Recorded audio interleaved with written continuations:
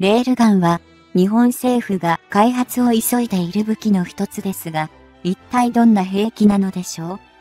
今回は、レールガン開発がどこまで進んでいるのかが主題です。日本では発電力もかなり向上し、総合的なレールガン稼働システムが構築できる技術が生まれています。一度開発し、トライアンドエラーで小型化、人が使うまでできればいいけどな。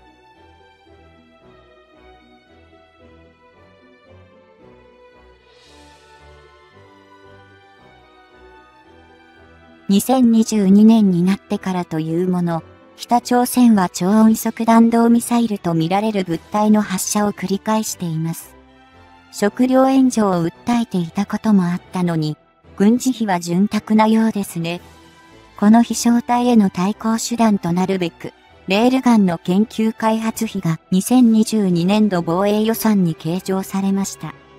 実は、1月12日に BS 日テレで真相ニュースという番組が放送されたのですが、その中で話題とされたのです。番組の中では、小野寺御殿元防衛省と大原盆司笹川平和財団上席研究員の対談が行われ、レールガンの実力と可能性、そして今後の課題などが話題になりました。改めてレールガンについて説明します。電磁砲とも呼ばれ、次世代兵器とみなされる兵器ですが、火薬を使わずに、2本の通電性の高いレールに高電力を流し、磁場を発生させることによってレールに乗せた弾体を射出する仕組みです。このレールガンは試作段階で 200km 以上の長距離射撃が可能で、理論上は火薬で発射する銃砲や燃料を燃焼させて飛翔するミサイルと比べると経費もかからずしかも連射可能とみられるので、飽和的ミサイル攻撃へも対処できるのではと期待される兵器と考えられています。花火がわかりやすい例ですが、雨が降ったら火薬は使えませんから、火薬を使わずに発射できるというのは確かに効率的でしょうね。防衛省がこれまでに試作したレールガンでの発射試験結果によると、発射初速は2300メートル毎秒およそマッハ6が観測されたということです。戦車砲の発射初速は、1、700から1、800メートル毎秒と言われますが、それを軽く上回っています。防衛省の構想では、中国、ロシア、北朝鮮が急ピッチで開発を進めている超音速誘導弾への対抗手段になり得ると期待しているようです。前での真相ニュースの番組中では、キャスターから様々な質問がありました。レールガンを開発するメリットは何か？小原定石研究員は、弾体を非常に高スピードで遠くのターゲットに命中できると考えている。ミサイルなどに弾体が到達するまでの時間も短く、連射も可能ということだと答えた上で、アメリカ軍の地上試験では射程 370km という報告があったこと、連射性能向上の可能性についても述べました。また、弾体に火薬を入れて爆発させなくても、高スピードによる破壊力が期待できるという発言もありました。強力な磁場を発生させるための装置は必要か？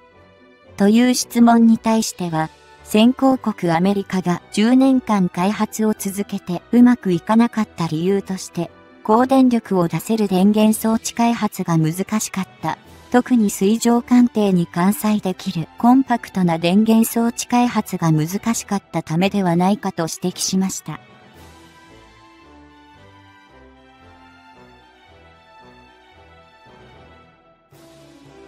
現状、レールガンが艦載可能な艦艇として例示したのは、統合電源システム IPS を備えているズムウォルト級駆逐艦でした。IPS は大きな電力を必要な箇所に集中的に配電できるシステムで、レールガンの発射は可能と思われます。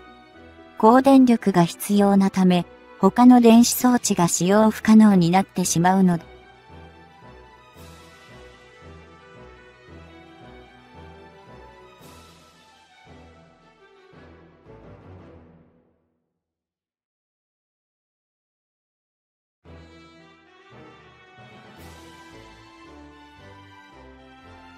現在は発射されたミサイルを撃ち落とすため、非常に高価な迎撃ミサイルを使っているが、安価で連射可能なレールガンをどう評価しているかというものに小野寺氏は、2012年、平成24年に、初めて防衛大臣に就任した時からレールガンについては理解していた。多額の費用がかかるミサイル防衛システムに代わる次世代のシステム研究をしっかり行うように指示を出したと明かしました。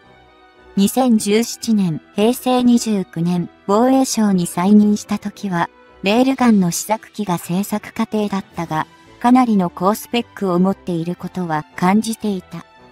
そして、自分は自民党内の防衛大綱を議論するワーキングチーム座長という立場もあって、レールガンの性能向上のための予算計上も応援している、小原研究員と同じく、日本が持つ先端的電気関連システム研究に大きな期待を寄せている。陸上配備で対応可能と思われるが、選手防衛の観点からすれば飛来するミサイルを撃ち落とすには航空機へ搭載することも視野に入れつつ、レールガンは日本にとって必要な装備であると考えているという認識を示しました。また、番組内では、レールガンの課題とゲームチェンジャーとしての可能性、大きな電力を供給する電力源の確保、変則的に起動すると推測される、極、超音速誘導弾迎撃に本当に有効なのかといった多くの疑問が投げかけられました。今後巨額に膨らんでゆくと思われる研究開発費などについても、当然、遠慮なく、漁師に鋭い質問が日々ました。研究員も実用化についての一番大きな問題が電源問題と認識しているようです。常に電源を確保できる状態でなければ、蓄電池などの装備が必要になります。その場合、放電後の蓄電に時間がかかるので、連射はできないと指摘しました。とはいえ、電源システムや蓄電池技術に関しては、日本は世界でもトップクラスなので、将来的にレールガンをアメリカと共同開発する話が持ち上がったとしたら、電源システムで日本の優位性をフルに活用すべきとのことでした。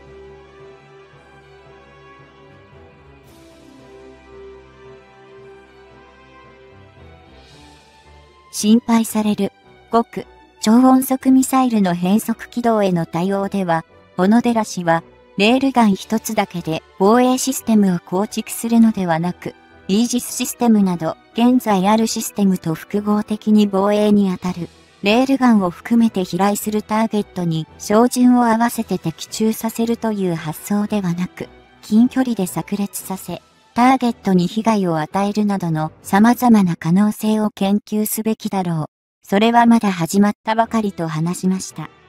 小原研究員は、極超音速ミサイルは、スピードが上がるほど運動性が低下する。高度を下げると、空気抵抗によってスピードが下がることから、変速軌道を取れるのは、空気の薄い高高度にある時だけで、ターゲットに接近して高度が下がると低速になり、いずれまっすぐ落ちてくるので、それを待ってレールガンを連射して迎撃できれば、相手が超音速でも撃墜は可能と語りました。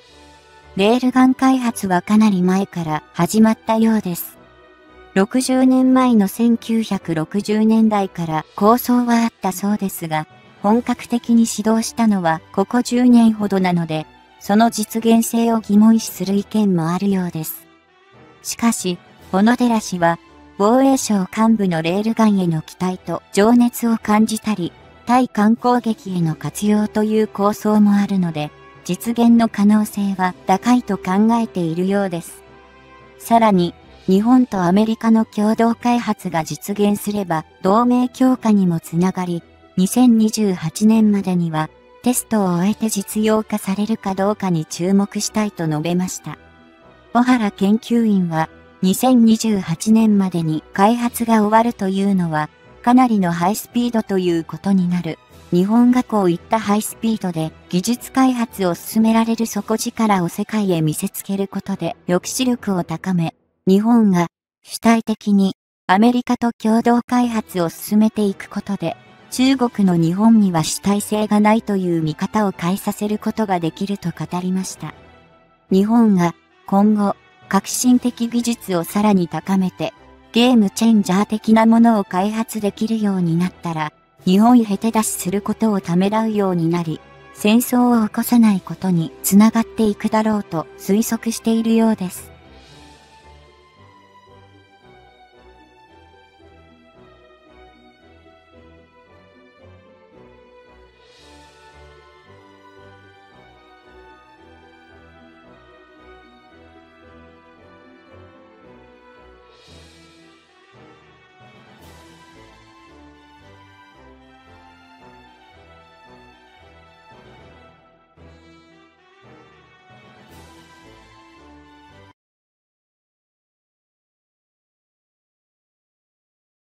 2023年度の補正予算案で、防衛省は8130億円を計上し、その大部分を、鹿児島県の曲島へのアメリカ軍機訓練移転に伴う自衛隊基地整備に充てる予定との情報をキャッチしました。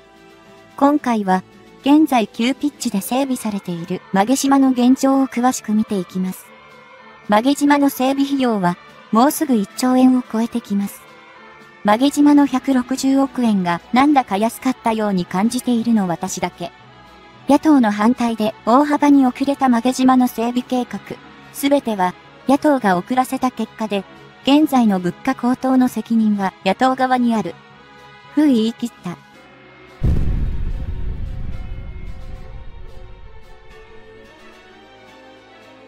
防衛省は10日、2023年度補正予算案に防衛力や災害対処能力強化を目的として、総額8130億円を計上したと発表しました。鹿児島県西之表島下島へのアメリカ軍機訓練の移転を伴う自衛隊基地整備経費として、歳出ベースで2684億円を充当して、渓流施設や滑走路などの整備を加速させる見込みです。曲島は、ロケット発射基地として有名な種子島の西 12km に浮かぶ島で、住民登録はされていますが、実質的には無人島です。用地買収問題などが発生したので、ご存知の方もいらっしゃるでしょう。曲島整備経費は、アメリカ軍再編関連予算3169億円の大半を占める金額となりました。契約ベースでは839億円で、環境調査や詳細検討なども含む12年度からの予算を積み上げていくと、計8519億円にまで達したのです。24年度予算では、一層の上積みも予想され、1兆円が間近に迫っていることになります。同省によると、工事の進捗に応じて、年度内の支出分が増えたほか、人件費や資材単価の高騰で、当初予算の見込みより多くなってしまったということです。基地の早期整備に向け、資機材の輸送力を強化するため、船を追加投入する経費にも当たるようです。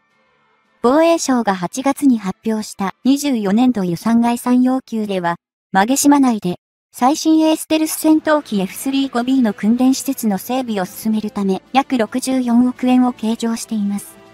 都市近郊の基地や基地周辺に人家も多いので、どちらが先かという問題はスルーできませんね。騒音や基地活動と周辺市街の民生がクロスし、双方にストレスやトラブルが生じ、機能不全となる問題が増える状況が山積しています。そんな中では、このような無人島を活用したり、基地の再配置検討、国防戦略的な防衛基地のありさまを根本的に見直す事例になると考える向きもあるようです。日本の場合、列車や自動車で移動しても、街や人家が途切れることが大んとありません。よほどの僻地や山奥でない限り、人家の生活域が垣間見られます。日本の面積の狭さがネックですよね。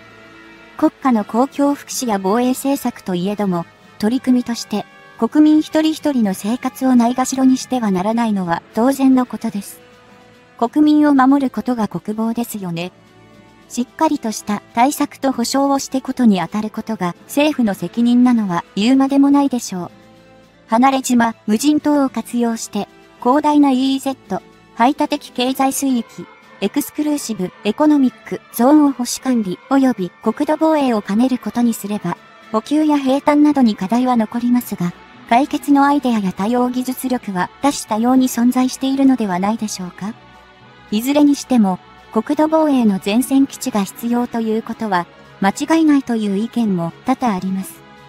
沖縄県、鹿児島県近海では、10月から11月にかけての1ヶ月間にわたり、いつにも増して、中国軍の艦船、航空機などの活動が活発化しました。またかよ、といった感じですが、中国の艦船は、10月1日フリゲート艦2隻が、沖縄本島と宮古島の間の海域を航行しました。1ヶ月後の11月1日には、同じ海域を、駆逐艦1隻が航行し、翌11月2日には、フリゲート艦2隻が鹿児島県奄美大島沖を航行したということです。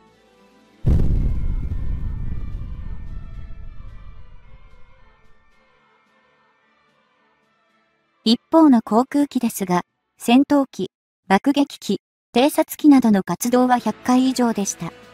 その内容としては、スホイ 30MKK、スホイ 35S、J10C、H6 キロ、Y8、Y8J などの機体が確認されたそうです。多種多様な航空機を飛ばしたものですね。上日の活動はどれにしても、日本領空や領海を侵犯したものではありません。しかし、中国は、軍事力増強を背景として、日本の周辺海域で活発に活動していることは、事実として受け止めなければならない状態でしょう。中国の艦船、航空機が日本の周辺海域で活動を盛んに行う可能性は残念ながら今後も高いでしょう。中国はアメリカとの軍事バランスを重視しているので、将来的にも太平洋地域での存在感拡大を図っていくことは容易に予想できます。最近、新型 FFM フリゲートマルチパーパスマインウォーフェア多機能護衛艦12隻の建造期間を5年に短縮するとか、アメリカから巡航ミサイルトマホークを購入する予定など、驚く速さで、矢継ぎ早に防衛を強化しようとしていると感じます。なんでこんなに急ぐのか、本当に必要なのか、何より金はどうするのかなどと疑問が浮かんでくるのは筆者だけではないでしょう。民間の非営利団体であるアメリカ海軍研究所 USNI、US ナバル・インスチチュートの発表によると、日本最大級の軍艦が2024年 F35B ライトニングに戦闘機を運用するための一連の試験を受けるため、アメリカ東海岸に来航するということです。この発表は、2023年11月13日のことでした。USNI が言っている日本最大級の軍艦というのは出雲、片護衛艦のことです。2023年11月現在、2番艦下の飛行甲板形状が一新され、必要な改修が行われた状態で、試験航海などの実施中とのことです。日本側の視察団、海上自衛官と航空自衛官で編成は、すでに10月末。アメリカ東海岸で、大西洋沖を遊弋、遊弋するイギリスの航空母艦、空母プリンス・オブ・ウェールズ上で、F35B 戦闘機の運用試験を視察したそうです。ちなみに、遊弋とは、艦船が水上をあちこち動き回って敵に備えることの意味ですから、イギリス皇太子の尊称をつけたこの艦は、ただのんびり航行していたわけではなく、しっかり仕事もしていたというわけですね。USNI によると、プリンス・オブ・ウェールズの試験と同じ海域で、空母化改修が、済んだいずも型護衛艦も、F35B 戦闘機の運用についての各種試験を行うと述べています。この F35B 戦闘機については、実戦配備する際には、複雑な手続きが必要で、その中には、はるばるアメリカへ行ってテストを受けなければならないという縛りもあるのです。時間と経費がかかるし、戦闘機にも高額を支払うのに、そんな面倒なことをしなければならないのかとイラついてしまいますね。